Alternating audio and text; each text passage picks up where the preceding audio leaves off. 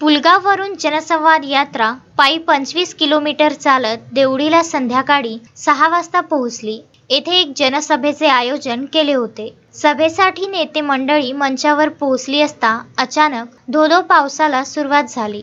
जेव्हा पाऊस सुरू झाला तेव्हा सभेला आमदार रणजित कांबळे संबोधित करीत होते.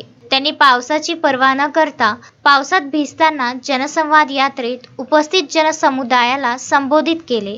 यात्रा आगरगाव लोणी पलसगाव होत जनसंवाद यात्रेतील शेकडो काँग्रेसचे कार्यकर्ते पायी पंचवीस किलोमीटरचा प्रवास करून जेव्हा देवडी येथे पोहोचले तेव्हा त्यांच्या समवेत पुलगाववरून आमदार रणजित प्रताप कांबळे सुद्धा पोहोचले.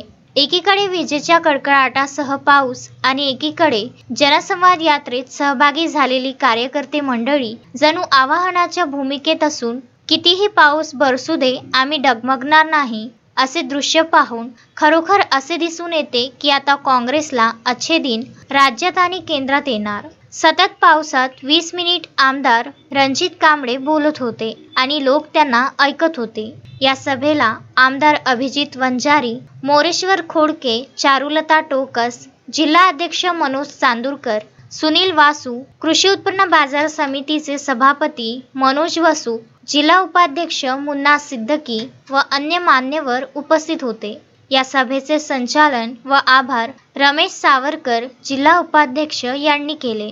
अश्विन शहा विदर्भ न्यूज वर्धा.